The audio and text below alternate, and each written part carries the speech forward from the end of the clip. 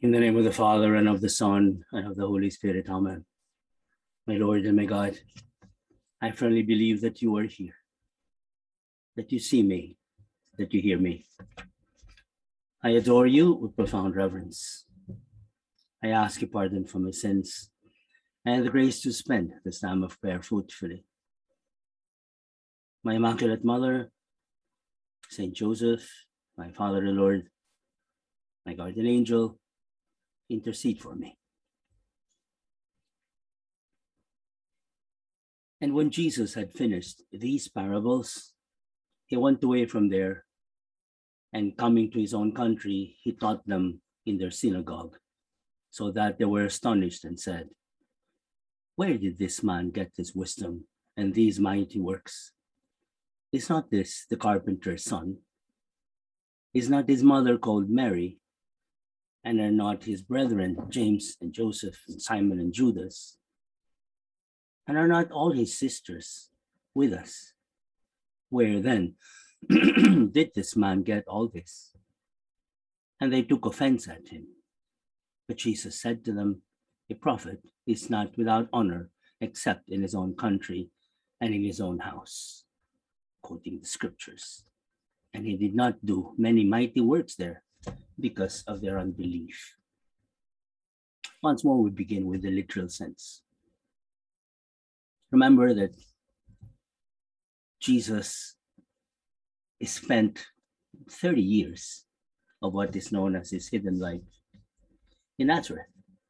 Although he was born in Bethlehem because of the census, and they spent a few years in Egypt before finally going back to Palestine. And instead of settling in Bethlehem, where he had been born, where he had begun his life, uh, they had gone to Nazareth. In the safety of that settlement, from where, in the first place, Mary and Joseph had also been born and had grown. They were immigrants from Bethlehem in the southern hill country of Judea to the northern region of Galilee, virgin country, lush, mountainous even around the volcano.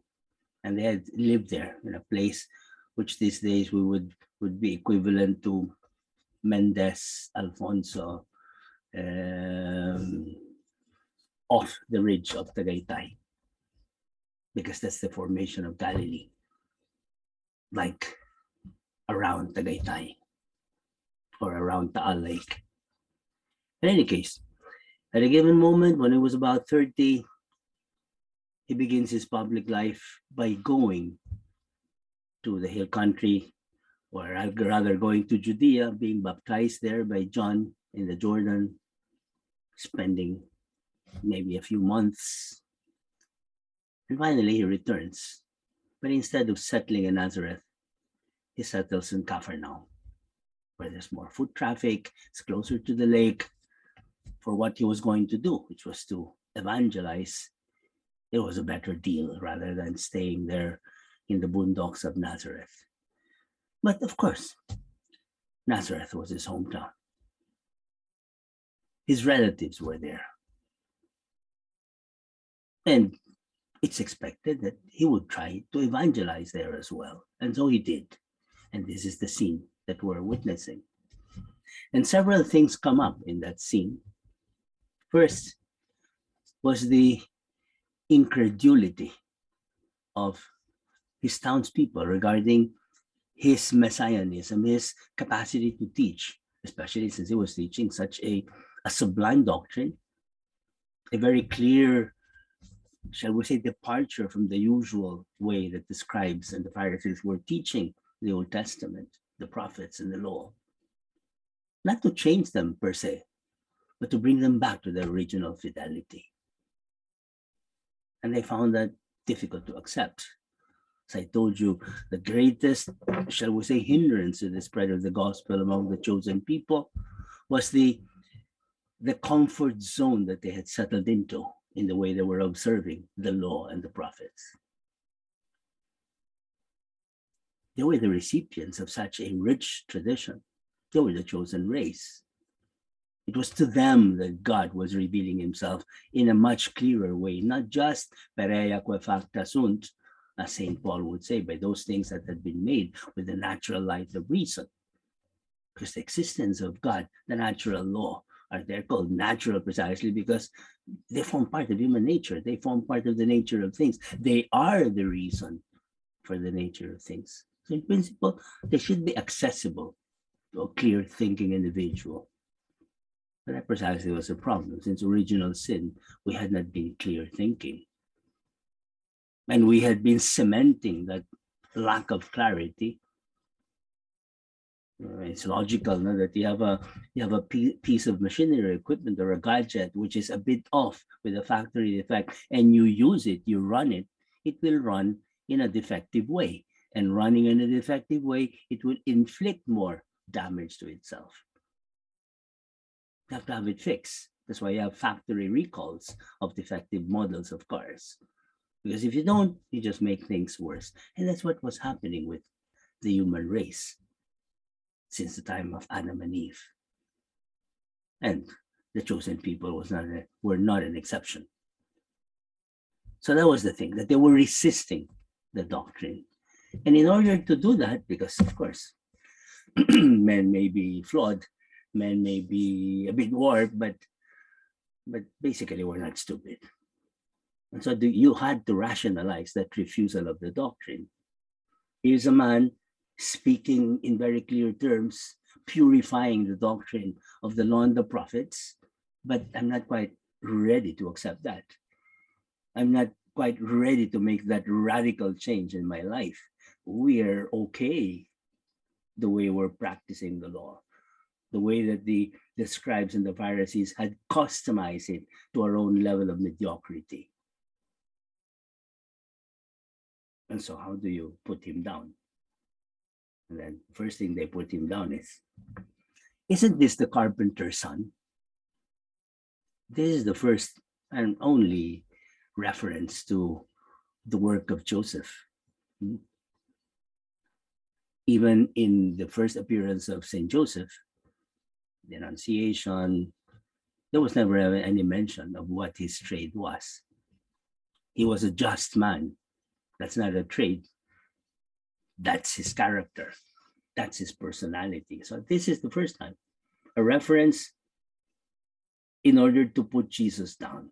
So in other words, in their mind, they were belittling the craft of Joseph. They were belittling the craft of our Lord.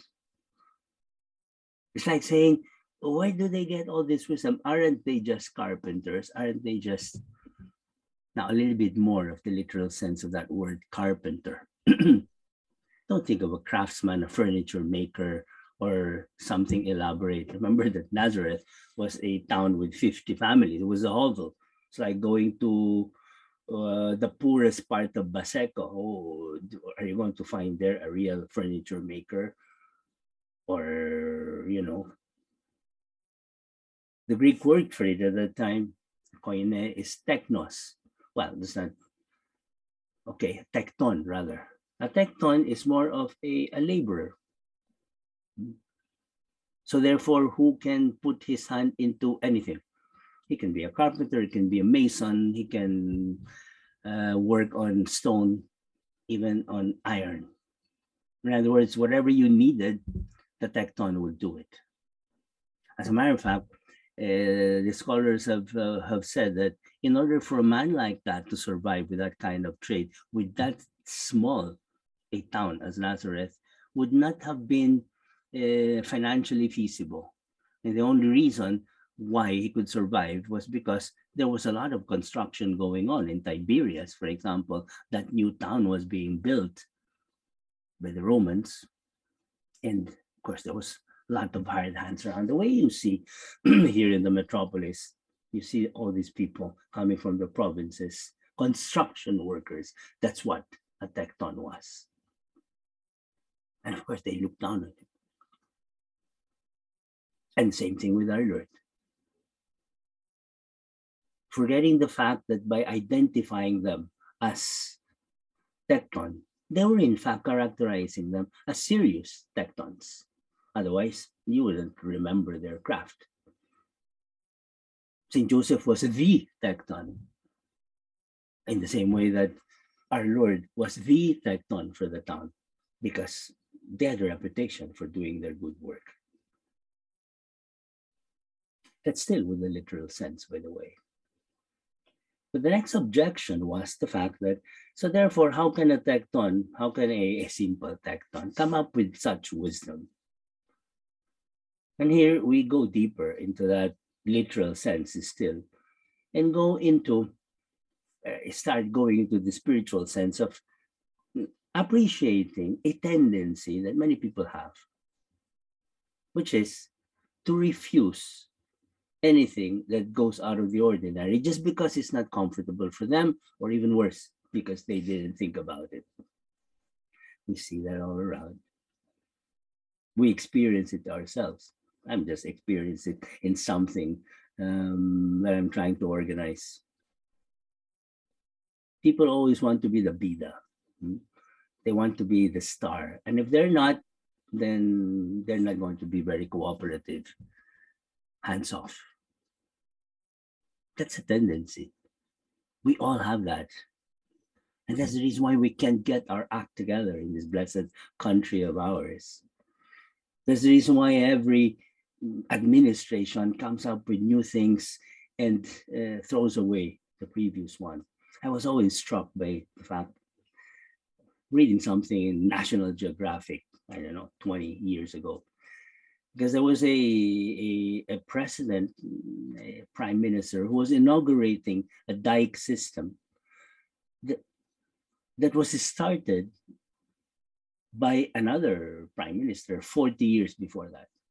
So in other words, the person who started that, who broke ground for that, knew very well that he will not even, he may not even live to see its completion. And it's a good thing that this new prime minister recognized what he had done. You know, this kind of far vision, we don't see that around so much. And there's a reason why it takes so long for uh, um, there, there are no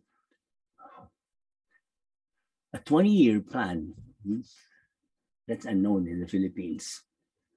Even a six year plan is perhaps stretching it too much people always want to get uh, something immediately. Why? Because of their own agenda, personal, clan, political, never for the, hardly for the common good, for the real good of the country. That's the reason for that attitude.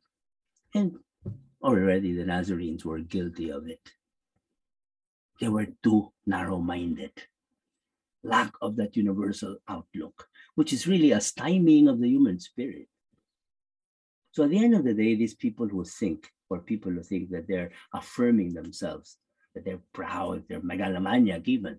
Think of a Julius Caesar, think of a Napoleon, think of a Genghis Khan. They were not really that big. On the contrary, they were petty. Because big magnanimity is to think big, to transcend your selfish interest. And self, by the way, is contra- concentric self. Of course, the most radical self is just you, but then there's your family, and there's your clan, and there's your province, there's your country. It's a good thing if it's your country already, to the exclusion of everyone else. But it's still my, my, my, my, my. Why not ours? Why not God's? Why not God's creation? Hmm, that's what we mean by the common good. What is good for everyone. What is good considering the nature of everyone, not of specific personalities or specific segments of it. And there's the reason why what is naturally good is really good because it corresponds to the nature of everyone, and we all have the same nature. And we have to start thinking this way for the common good. Because otherwise, we'll always be stuck with narrow schemes that may be convenient, but maybe even profitable for certain segments of the population or very small fragments of history, but will never be good in the long run. We need long solutions. Anyway, so that was what happened with the resistance to the doctrine of our Lord. But another thing needs clarifying here because they started objecting on the normalcy, the ordinariness of the providence of our Lord. Why, why should he be so special? Why not us? And then they started mentioning his relatives. Are not his brethren, James and Joseph and Simon and Judas, his brethren, the men folk, here with us? And are not all his sisters with us? Where then did this man get all this? In other words, they're locals. We have never heard him to be somebody who studied in Louvain or, or the Sorbonne or equivalent of today, no? Let's say go to Germany and things like that. No, no, no. He has never been in Jerusalem. He has never been schooled in any uh, rabbinic school.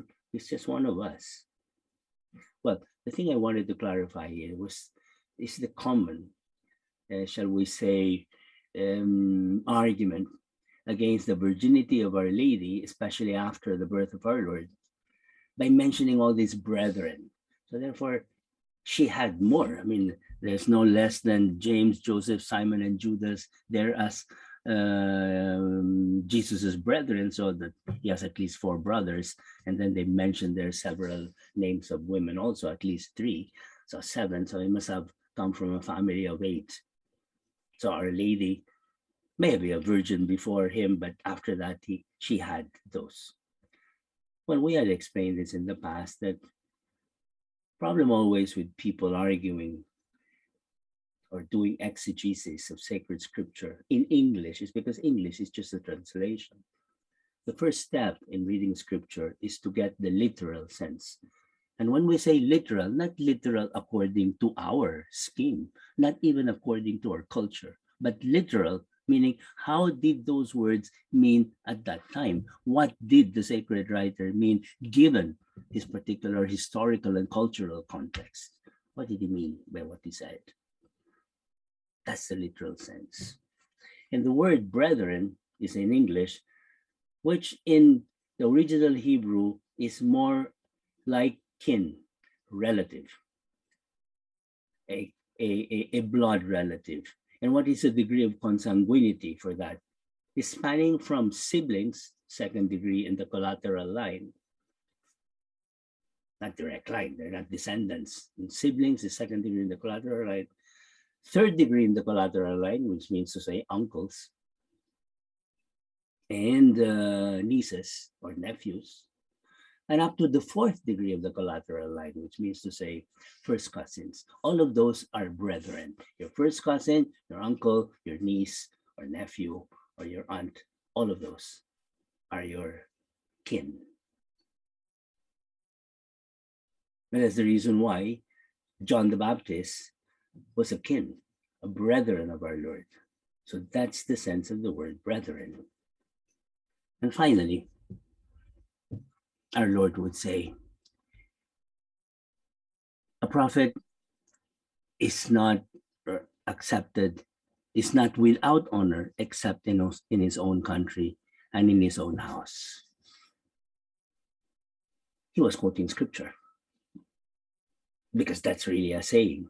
Hmm, that no one accepted is accepted by his own relatives because they're so familiar with him precisely and they cannot quite fathom how this and we have their own experience how this uh, person who has been drinking with me playing with me. I even know his his his his um, shenanigans when we were young. And then now he, he he's a priest. Now he's uh, he's a bishop or now he's uh, running for public office or something like that.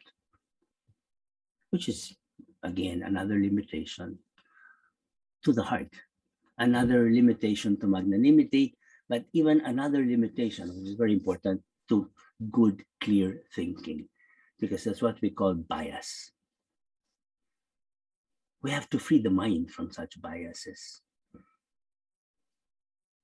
Because only by freeing the intellect from such ignorance in the first place, not knowing anything, or errors, knowing something, but it's wrong, clarifying ideas. can we really free the heart? Or rather, free the will? St. John Paul II, in that magnificent treatise on moral theology, which is Veritatis Splendor, coined an expression which I like very much because he said, setting freedom free. Because we live in a world where people are so fond of, you know, affirming their freedom. They don't want to listen to this. They want to be affected by that. They don't want anybody pontificating because they're free. Realize that freedom is oftentimes enslaved. In the first place, because freedom is blind, it has to be um, enlightened by the intellect. So if there's something wrong with the thinking process, if the thinking process is also shackled by biases, ignorance, or error, then the kind of light that the freedom will receive on where to go, because freedom is the capacity to go, but it's blind. Hmm? Love is blind and lovers cannot see. You, you, see that expression? It's the intellect that will uh, show it where to go. But if the intellect is also blind, is the blind leading the blind? And that's the first thing they had to do. That's why now, uh, with all this um, political exercise of the election, the first step is to be informed and there's a lot of false news going around. Be informed, go to the fundamentals. And I insist to the social doctrine of the church. What are the real values that have to be, um, what do you call this, protected? To start going from principles and not in a knee jerk reaction on what's convenient and what's popular, what's comfortable at the moment. Because those things will never work in the long run if they are not in agreement with the principles. So that's the, the first thing to, to enlighten the intellect, to form the intellect. But then there's another set of factors that shackle uh, freedom. And which are the, our passions, our attachments. It's the heart.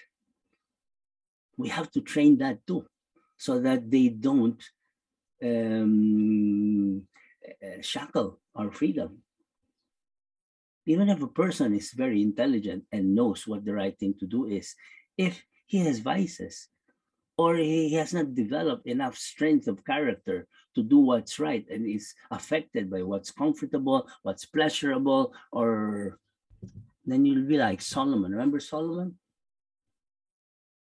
When he was young, he asked for wisdom, and God gave him that to be able to run uh, Israel, the chosen people. But he he fell into, you know, can you imagine having 700 concubines? You know what kind of a schedule that is 700 concubines? There are only 365 days in a year. And what kind of people were those concubines? First, they were people from the surrounding tribes. So the, the number one fear, the number one value that the old law, the old system protected, which was fidelity of doctrine, fidelity of Judaism, was from that very moment, compromised because all of those people were coming from different tribes, different religions, different cultural and religious mentalities. And that was the demise of Solomon.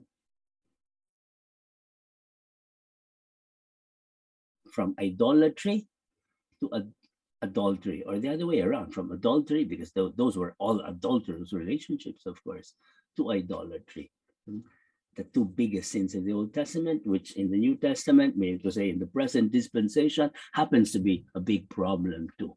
Perhaps I would even say the demise of many are erstwhile good leaders and good people. Setting freedom free. And you see what happens? We were reading a very simple incident, but these are the spiritual senses or this is the spiritual sense underlying that. When you look at the life of our Lord, you bring it to prayer, you contemplate it, and then you realize there's so much lesson to be learned. And that's the reason why we're doing what we're doing. Because I'm trying to teach you a way of praying, which is going with Christ, dialoguing with Him, penetrating the gospel scenes falling in love with Him. Because when you do that, then you follow Him. And by force, you will be identified with Him. And you would have learned how to be a child of God.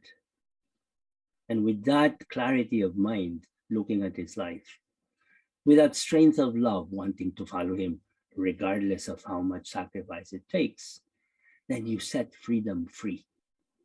Free to follow the inspirations of the Paraclete who had been active in your soul since you were baptized.